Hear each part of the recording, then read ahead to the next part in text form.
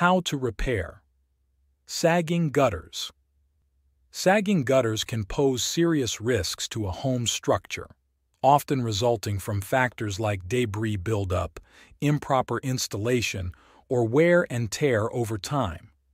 Repairing sagging gutters involves understanding the causes and taking corrective actions, which typically include clearing blockages, realigning the gutter, and reinforcing its structure. Homeowners are encouraged to conduct regular inspections to prevent minor issues from escalating into costly repairs.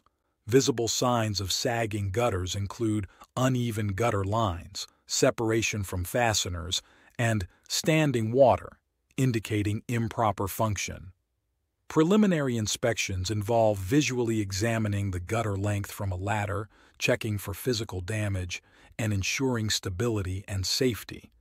Successful gutter repair requires specific tools such as a ladder, gloves, gutter scoop or trowel, power drill, and level, along with materials like gutter hangers, screws, and sealant. The repair process involves steps like clearing debris, examining and tightening gutter hangers, adjusting gutter slope, and sealing any leaks. Preventative measures like regular cleaning, inspecting and tightening gutter supports, installing gutter guards, downspout extensions, and splash blocks help prevent future sagging.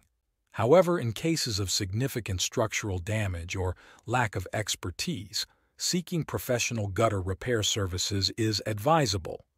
Choosing a reliable service involves researching local companies, checking credentials and reviews, and obtaining multiple quotes for comparison ensuring a quality repair experience.